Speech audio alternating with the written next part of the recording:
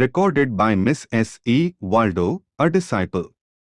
Friday, 26th July 1895. Brihadaranyaka Upanishad. Love all things only through and for the self.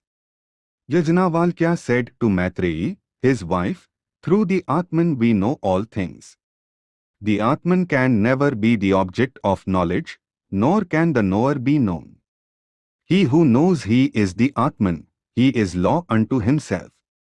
He knows he is the universe and its creator, perpetuating old myths in the form of allegories and giving them undue importance fosters superstition and is really weakness. Truth must have no compromise. Teach truth and make no apology for any superstition, neither drag truth to the level of the listener.